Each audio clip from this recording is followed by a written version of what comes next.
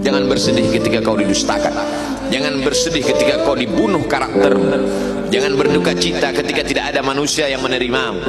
Karena sesungguhnya itu hanyalah cara Allah menguatkan hatimu karena dia ingin mengangkat derajatmu menempatkan di tempat yang terpuji memperlihatkanmu sesuatu yang tidak pernah dia perlihatkan kepada manusia yang lain dia buat hatimu hancur berkeping agar tidak lagi ada tempat makhluk dalam hatimu yang ada hanya Allah semata.